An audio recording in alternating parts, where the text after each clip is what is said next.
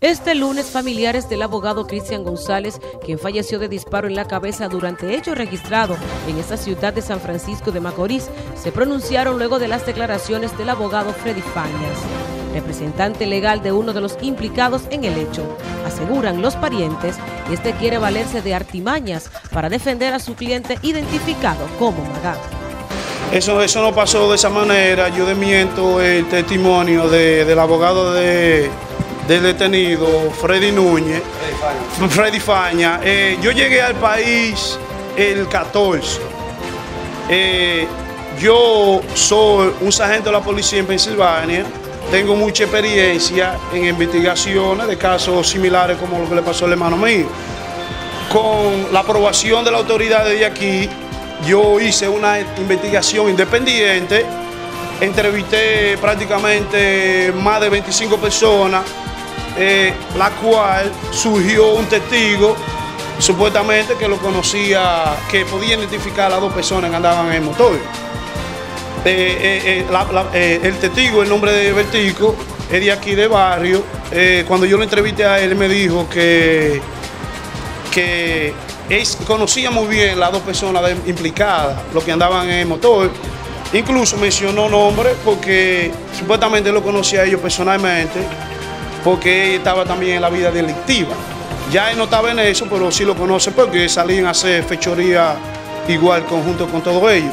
Él identificó al chofer como Magá y al pasajero con el nombre de Tem. Eh, que fue que disparó. Entonces yo eh, lo entrevisté a él y eh, eso fue lo que me dijo, que, que lo conocía a ellos mediante un video que yo le enseñé, me dijo que sí, que no tenía duda que era ellos entonces yo le dije si, quería ir a dar una declaración delante del Ministerio Público y estuve de acuerdo con eso. Una persona mayor, eh, fuimos el domingo 19, me parece que fue, eh, Benedito, que es el, fiscal, eh, no estaba presente, so, nosotros nos dijeron que regresáramos el, el lunes. El lunes a las 7 de la mañana nosotros nos presentamos ante el Ministerio Público. Betico dio una declaración diciendo de que él estaba en el lugar de los hechos y que vio a la persona, porque ellos se conocen bien. Incluso dio hasta descripciones físicas. Describió el motor, describió a las dos personas. Nunca, nunca, nunca a esa persona se le ofreció ningún tipo de dinero, ni él tampoco pidió nada a cambio. Simplemente, como un testigo y como lo amerita el caso, a él se le, se le, se le ofreció protección como se le ofrece a cualquier testigo.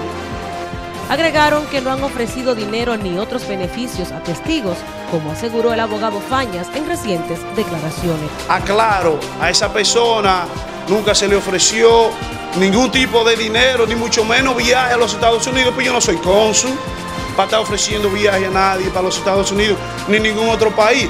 A él sí se le ofreció protección como un testigo, como sucede en cualquier otro, en otro, en, otro país. ¿Cómo se llama ese testigo?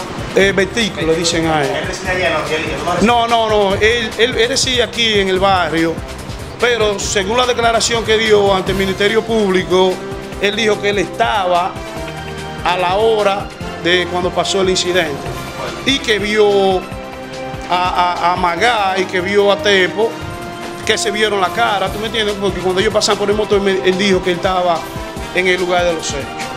Para NTN su noticiero regional, Joanny Paulino.